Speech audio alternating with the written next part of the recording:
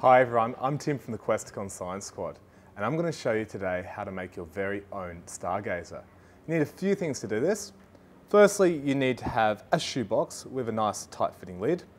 You need to have some Blu Tack, you need to have a nail and a thumbtack along with a picture of a constellation.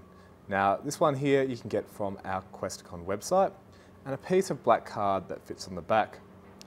Just down here, we also have some coloured pieces of cellophane.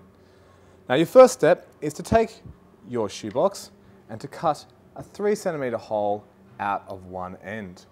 On the other end, what you need to do is to cut out a rectangle about one centimetre away from the edge, all the edges around here. So one centimetre here, one centimetre here, here and here. You need to make sure that your picture of your constellation and the piece of black cardboard are the same size as this box. So they can just slide in nicely and fit in there like that. Once you have them that size, you can take your picture here and using a nail, you can push out a hole through the larger stars. So I've got a nice big hole there. And for the smaller stars, you can use a thumbtack and push that through as well. So thumbtack through there. But I've already done this.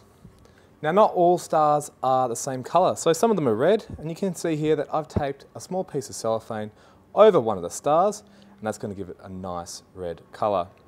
So once you've done that, you can take your constellation your piece of card, you can push it down inside the box, put the lid on, swing it around so the hole, and come have a look at this now. Here we go. You can see your very own constellation and a whole lot of stars in there as well. If you want to make your very own stargazer, head to the Questacon Science Squad website. Catch you next time.